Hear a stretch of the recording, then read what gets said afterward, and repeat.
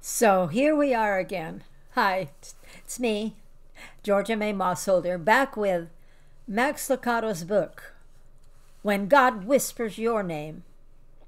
And chapter 7 is titled Behind the Shower Curtain. Hmm.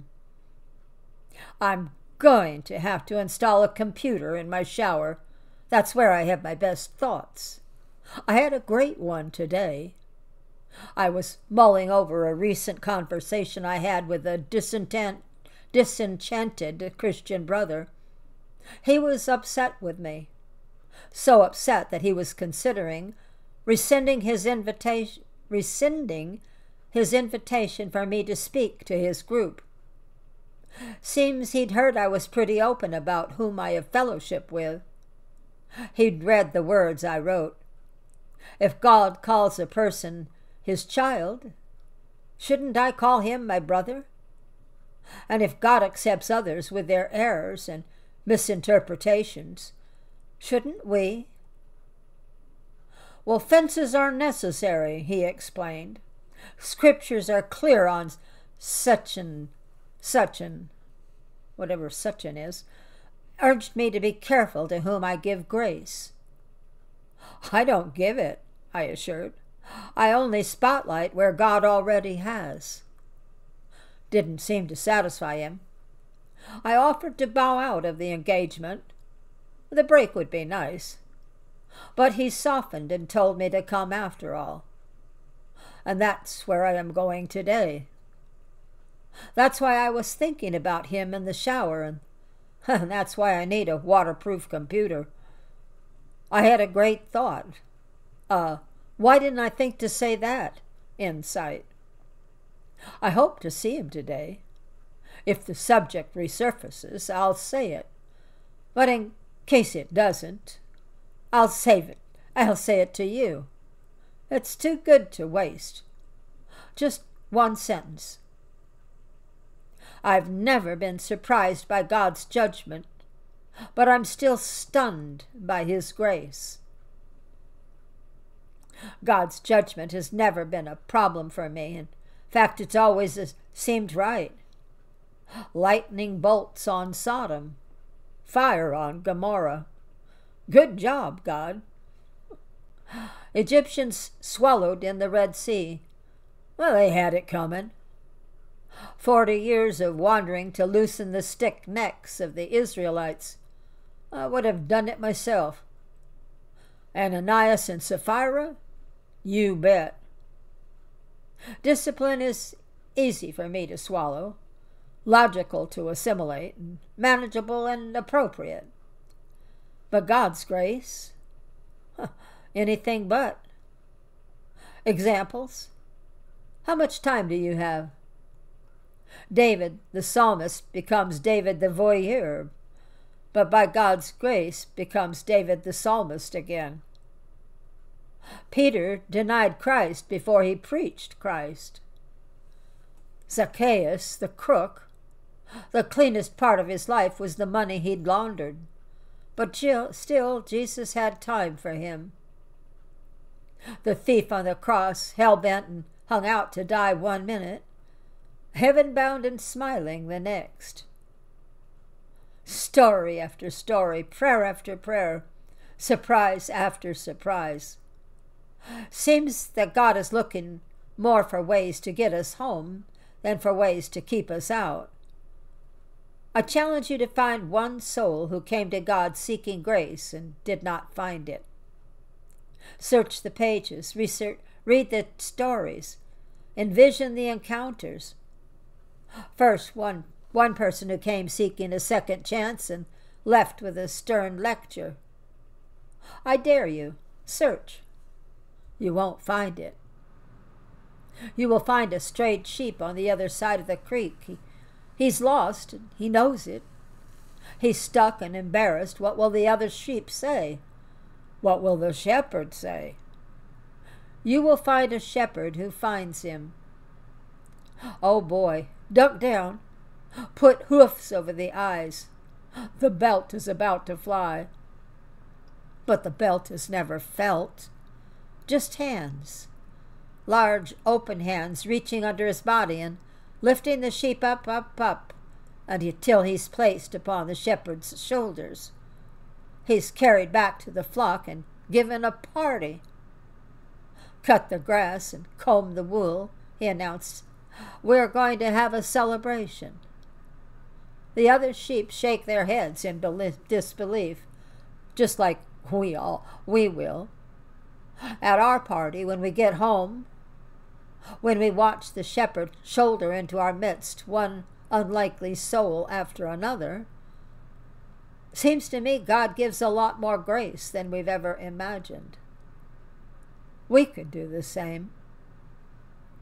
I'm not for watering down the truth or compromising the gospel, but if I follow with a pure heart, calls God Father, can't I call that same man brother? If God doesn't make doctrinal perfection a requirement for family membership, should I? I read that wrong, by the way. I'm going to read it again.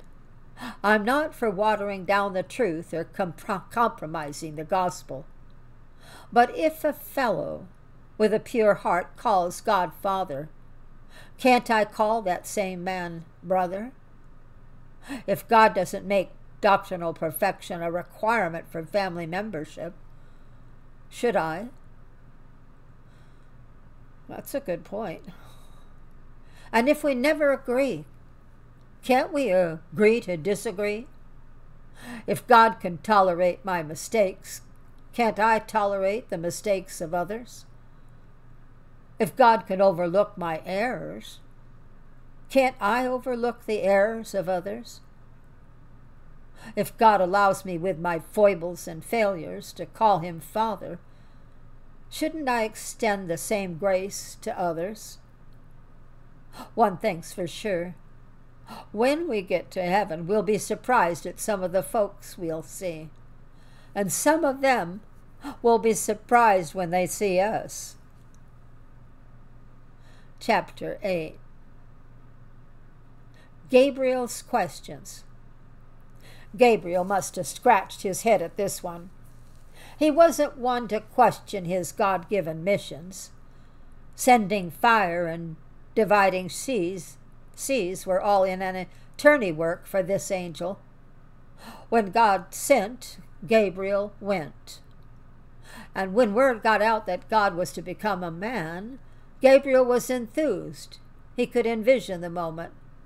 The Messiah in a blazing chariot, the king descending on a fiery cloud, an explosion of light from which the Messiah would emerge.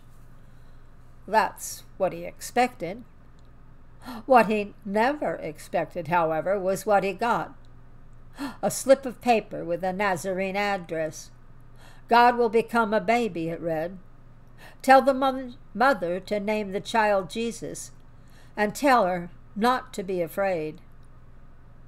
Well, Gabriel was never one to question, but this time he had to wonder. God will become a baby? Gabriel had seen babies before, he had been platoon leader on the Bulrush operation. He remembered what little Moses looked like. That's okay for humans, he thought to himself. But God? Huh. The heavens can't contain him. How could a body? Besides, have you seen what comes out of those babies? Hardly befitting for the creator of the universe. Babies must be carried and fed and bounced and bathed. To imagine some mother burping God on her shoulder, why, that was beyond what even an, an angel could imagine. And what of his name? What was it? Jesus? Such a common name. There's a Jesus in every cul de sac. Come on, even Gabriel has much more punch to it than Jesus. Call the baby eminence of majesty or heaven sent, anything but Jesus. So J- Gabriel scratched his head. What happened to the good old days, the Sodom and Gomorrah stuff, flooding the globe and uh, flaming swords? That's the action he liked. But Gabriel had his orders. Take the message to Mary. Must be a special girl, he assumed as he traveled. But Gabriel was in for another shock. One peek told him Mary was no queen. The mother, too, of God was not regal. She was a Jewish peasant who barely outgrown her acne and had a crush on a guy named Joe. And speaking of Joe, what does this fellow know? Might as well be a weaver in Spain or a cobbler in Greece. He's a carpenter. Look at him over there, sawdust in his beard and nail apron around his waist. You're telling me God is going to have to dinner every night with him? You're telling me the source of wisdom is going to call this guy dad? You're telling me a common laborer is going to be charged with giving food to God? What if he gets laid off? What if he gets cranky? What if he decides to run off with a pretty young girl from down the street? What if he decides to run off with a pretty young girl from down the street? Then where will we be?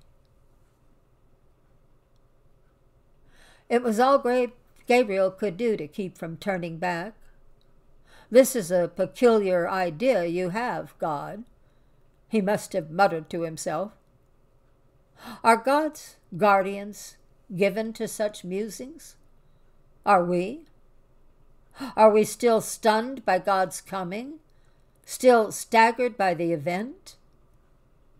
Does Christmas still spawn the same speechless wonder it did 2,000 years ago? I've been asking that question lately to myself. As I write, Christmas is only days away, and something just happened that has me concerned that the pace of the holidays may be overshowing the purpose of the holidays. I saw a manger in a mall. Correct that. I barely saw a manger in a mall. I almost didn't see it. I was in a hurry, guests coming, Santa dropping in, sermons to be prepared, and services to be planned, presents to be purchased. The crush of things was so great that the creech, creech of Christ was almost ignored. I nearly missed it. And had it not been for the child and his father, I would have. But out of the corner of my eye, I saw them. The little boy, three, maybe four years old, in jeans and high tops, staring at the manage- manger's infant.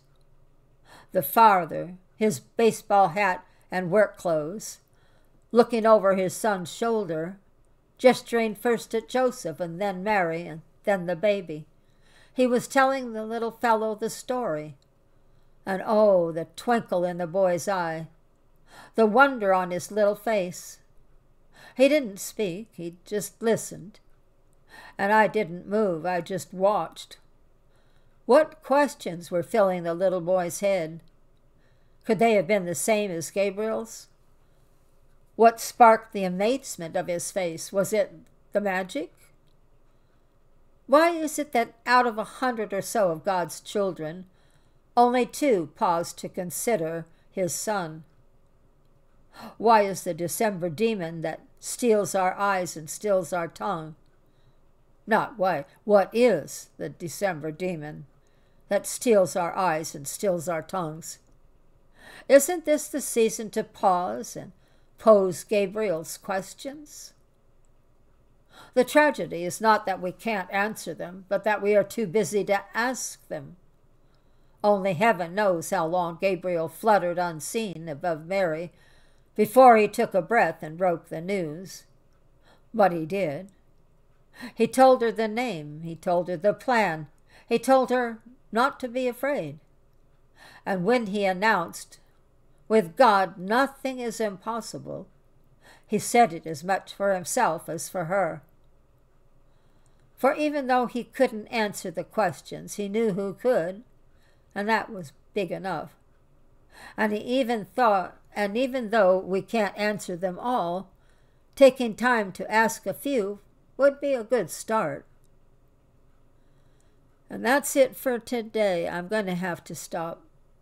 Chapter 9 What is your price? I'll be back with that tomorrow. See you soon.